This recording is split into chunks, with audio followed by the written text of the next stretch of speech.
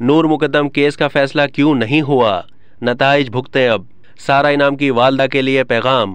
जब किसी पर कयामत टूटती है तो रिश्तेदार और आस पड़ोस के लोग थोड़ी देर के लिए सहारा देने को तो आते हैं, लेकिन वापस जाते ही वो अपनी ज़िंदगी में मगन हो जाते हैं। इससे ज़ाहिर होता है कि अगर कोई इंसान किसी कर्ब से गुजर रहा होता है, उसका दर्द शायद वही समझ सकता है जिसने ऐसी ही किसी जहनी या जिस्मानी अजियत का सामना किया हो।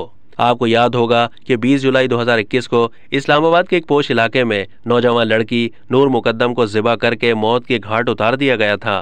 सत्ताईस साल नूर मुकदम की माँ के जख्म इस वक्त दोबारा ताज़ा हो गए, जब उन्हें अपनी बेटी जैसी लड़की सारा इनाम के कत्ल का पता चला और इस वाक़े ने उन्हें एक बार फिर वो सब याद दिला दिया कि कैसे उनकी बच्ची नूर मुकदम को बेदर्दी से कत्ल कर दिया गया था। नूर मुकदम की वालदा कौसर ने अपने ही शोहर के हाथों कत्ल होने वाली सारा इनाम के वालदेन के साथ इजहार यकजहती किया और एक पैगाम देते हुए कहा कि कानूनी जंग लड़ें, इंसाफ ज़रूर मिलेगा। नूर मुकदम की वालदा कौसर ने कहा कि सारा इनाम के कत्ल की खबर आई तो इतना सदमा हुआ कि लगा एक और नूर मुकदम चली गई। हम दो तीन दिन इस कदर सदमे में थे कि ये क्या हो गया है। ऐसा इसीलिए हुआ कि नूर के केस का फैसला नहीं किया गया। अगर नूर के केस का फैसला हो जाता तो सारा का कातिल सोचता कि मैं भी फांसी पर लटक सकता हूँ। फौरी इंसाफ मिलना चाहिए ताकि ऐसे वाकयात की रोकथाम हो सके।